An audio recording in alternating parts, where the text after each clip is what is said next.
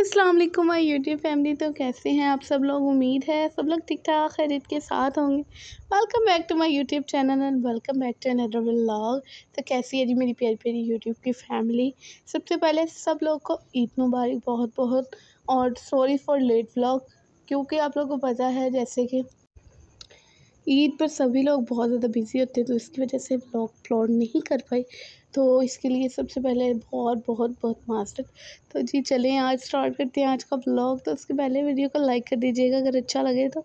Comment करके ज़रूर बताइएगा। साथ ही साथ, मेरे चैनल को सब्सक्राइब नहीं किया तो जल्दी से मेरे चैनल को सब्सक्राइब कर लीजिए।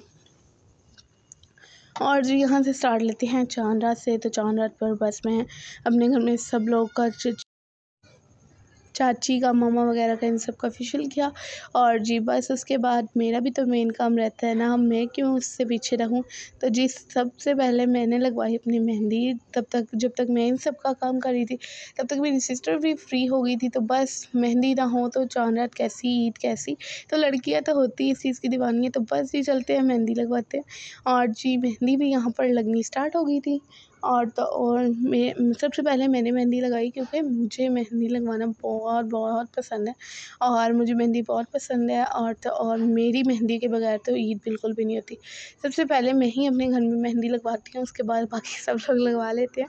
तो कमेंट सेक्शन में मुझे बताइएगा, आप लोगों के घर में सबसे पहले आप लोग क्या करते हैं और आप लोग को मेहंदी लगवाना पसंद है कि नहीं पसंद? और यहाँ पर ना मेरी मेहंदी गीली थी और फ़ोन बहुत ज़्यादा हिल रहा था तो उसके लिए बहुत ज़्यादा माजरत। और जी, बस दोनों हाथों पर मेरी मेहंदी लग चुकी है। तो मैंने सोचा आप लोग के साथ शेयर करूँ। मैंने ना आपकी टिक्कियाँ वगैरह ही लगवाई थी, क्योंकि मेरा डिज़ाइन का कोई मूड नहीं था, वरना मुझे डिज़ाइन लगवाना बहुत ज़्यादा पसंद है। और ना मुझे थोड़ी सी भारी, यानी कि हैवी मेहंदी लगवाना बहुत ज़्यादा पसंद है। तो खैर, मैंने इतनी ज़्यादा फैंसी तो नहीं बट मेरे हाथ फुल हो गए थे। और जी यहाँ पर मेरी सिस्टर जो हैं छोटी, उनकी भी मेहंदी लग चुकी थी और बड़ी सिस्टर लगवा रही थी क्योंकि बड़ी सिस्टर को कौन लगाएगा? और तो किसी को मेहंदी लगानी आती नहीं। और मुझे भी ना बहुत थोड़ी मेहंदी लगवानी आती है तो उसने लगवाई थी कज़न से। तो बस जी नेक्स्ट डे सुबह हो गई थी और सुबह हमारी दादों से रवायत है कि हम लोग ईद के दिन शीर खुरमा बनाते हैं सुबह के टाइमिंग में। तो बस जी शीर खुरमा सब लोगों ने खा लिया था और फिर नमाज़ पढ़ के आए तो मैंने भी खा लिया था। और फिर ईदी वगैरह ली। और जी, फिर रात रात को हम लोगों ने बाकी सब इन्जॉयमेंट की। लेकिन उससे पहले ना मैं रेडी हो गई थी क्योंकि हमें जाना था मेरी फ्रेंड की तरफ़ तो बस जी, वो बहुत ज़्यादा इंसिस्ट कर रही थी। तो हम लोग वहाँ जाने के लिए रेडी हो गए थे। और फ़र्स्ट डे हम लोग फिर अपनी फ्रेंड की तरफ़ से जब वापस आए तो फिर अहमद का मूड बहुत ज़्यादा ऑफ़ था कि सब लोग घूम फिर रहे हैं, मुझे नहीं लेके गए। हालाँकि अहमद हमारे साथ गया था बट फिर भी वो कह रहा था घूमने फिरने नहीं गए। तो बस फिर थोड़ी सी आउटिंग करने के लिए हम लोग बाहर आ गए थे। और जी आउटिंग क्या होती है आइसक्रीम तो मस्त होती है, और बच्चों की तो ईद होती है। तो बस जी अहमद को आइसक्रीम बहुत पसंद है और आइसक्रीम ऐसी है कि आइसक्रीम किसको नहीं पसंद होती भाई? मेरी तो बहुत ज़्यादा फेवरेट है। बल्कि मेरी ऐसी कोई चीज़ नहीं है जो मेरी फेवरेट ना हो। तो बस यहाँ पर हम लोग सब लोग आ गए थे आइसक्रीम लेने के लिए और फिर हम लोगों ने आइसक्रीम ली। और ये था जी उनका कॉर्नर आइसक्रीम का। और यहाँ पर डिफरेंट डिफरेंट फ्लेवर्स वगैरह मिल रहे थे। हर कोई अपनी पसंद का फ्लेवर ले रहा था। सो so, सबने सभी चीज़ें डलवाई बट मुझे स्प्रिंकल्स वगैरह इतने कुछ ज़्यादा पसंद नहीं है। और यहाँ अहमद अपनी इंजॉय करते हुए आइसक्रीम तो बस मैंने फिर आइसक्रीम में क्रंच वगैरह सब लोगों ने ली थी अपनी क्रंच वाली ऐसे। और मैं, मुझे पसंद है जी स्प्रिंकल के बगैर तो मैंने उनको कहा था, मुझे स्प्रिंकल वगैरह कुछ मत डाल के दीजिएगा। और यहाँ पर जैसे ही सब लोग की आइसक्रीम बन चुकी थी, मैंने कहा, अब मेरी बनी है तो अब वीडियो बनाते हैं। तो उन सब लोगों ने कहानी स्टार्ट भी कर ली थी। सो बस हम लोगों ने आइसक्रीम वगैरह खाई और फिर हम आगे इंजॉय करने के लिए चले गए। और ईद तो होती ऐसी है कि बंदा फ़न करता है, खूब सारा खूब सारा इंजॉय करता है और बहुत ज़्यादा मज़े करता है। तो बस जी, हम लोग फिर आगे स्ट्रीट फ़ूड की साइड पर आ गए थे और हमारे यहाँ पर बर्गर खाने का मूड हो गया था तो बस भी हम लोगों ने बर्गर ऑर्डर करवाए और उस टाइम ना मैंने सोचा कि चलें सब लोग अंदर बैठे थे और मैं बाहर आई और मैंने कहा नहीं भाई मैं तो अपनी यूट्यूब फैमिली के साथ इसकी मेकिंग भी शेयर करूँगी। तो बस थोड़ी दूर से ही मैंने बनाया था और तो और। सबसे पहले मैं एक बात कर दूँ आज की जो व्लॉग की आधी रोटेशन है ना वो इसी डायरेक्शन में तो इसके लिए सबसे पहले बहुत ज़्यादा सॉरी क्योंकि मैंने उस टाइम ऐसे ही फ़ोन रखा था मेरा बिल्कुल भी व्लॉग वाला फ़ोन रखने का और यहाँ पर ना बहुत दूर से मैं वीडियो बनाती तो इसलिए सब कुछ क्लियरली नहीं है। बट जितनी मुझसे बन सकी उतनी मैंने बनाई।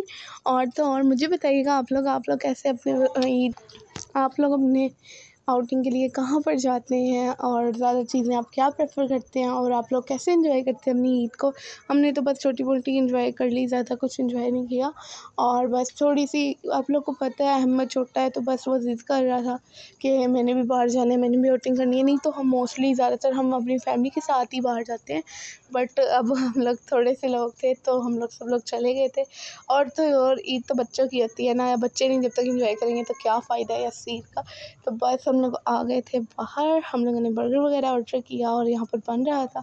तो डिफरेंट डिफरेंट चीज़ें ये लोग बना रहे थे तो मैंने बस ऐसे क्लिप बना लिया था, ज़्यादा कुछ भी रिकॉर्ड करके नहीं बनाया था। और तो और यहाँ पर से हम लोगों का प्लान बना कि हम लोग कहीं दूसरी साइड पर आउटिंग के लिए जाते हैं। अब जैसे कि ईद वगैरह है तो झूले वगैरह बहुत ज़्यादा मेन चीज़ होते हैं बच्चों के लिए। तो बस हम लोग फिर प्ले लाइन वगैरह चले गए थे। वहाँ पर अहमद को थोड़े बहुत झूले दिलाए और बस घर आ गए थे। तो यहाँ पर जी बर्गर की मेकिंग स्टार्ट हो गई है और फिर हम लोग प्ले लैंड आ गए हैं और जी अहमद साहब अपने एक्साइटमेंट के इंतहा थी बहुत ज़्यादा। और ये देखिए बस फिर हम लोग अंदर गए उसको झूले वगैरह दिलाए। आप लोग बताइएगा आप लोग के ज़्यादातर कहाँ जाते हैं आउटिंग के लिए झूले वगैरह लेते हैं या फिर किसी स्ट्रीट फ़ूड वगैरह में जाते हैं? तो मुझे ज़रूर कमेंट सेक्शन में आप लोगों ने बताना है और यहाँ पर और अहमद एक्साइटेड बहुत था और फिर वो बैठ ही गया फाइनली उसको बोला कि हाय बोल हाय करो हाय बोलो बट वो बहुत ज़्यादा एक्साइटेड था तो उसने कुछ भी नहीं बोला, सिर्फ़ ऐसे ही देख रहा था और खुश हो रहा था। उसके बाद जी अब फ़र्स्ट डे तो हमने यही सब कुछ किया और हमने कुछ नहीं किया।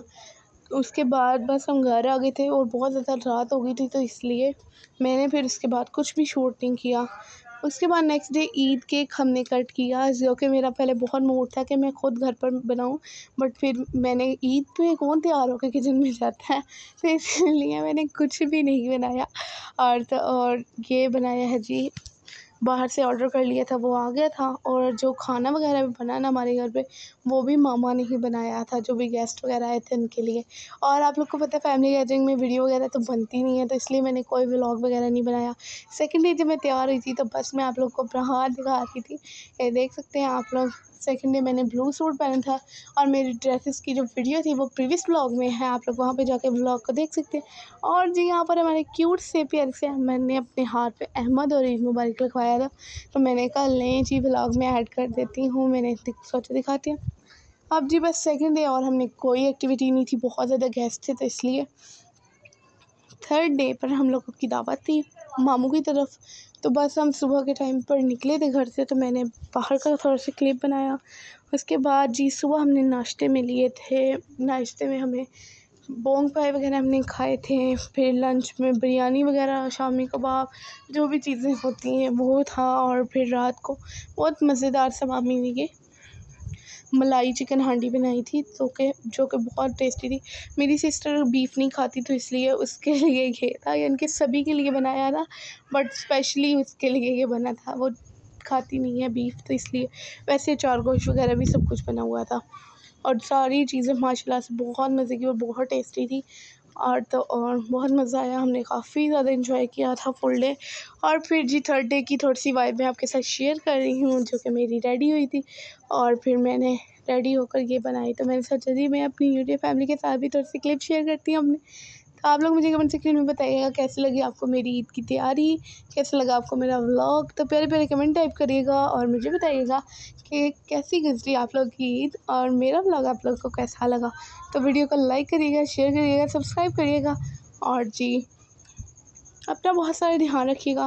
मुझे भी दुआ में याद रखिएगा। टेक केयर अल्लाह हाफिज़ बाय बाय